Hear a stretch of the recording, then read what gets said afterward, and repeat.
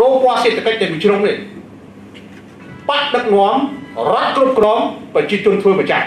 តែសេដ្ឋកិច្ចនៅតែជាសេដ្ឋកិច្ចទីផ្សារណាដូរតែសេដ្ឋកិច្ចមួយទេអត់មានដូរអីទេដូរដូរតែមួយបើជាតិចិនដូរគឺមានបញ្ហា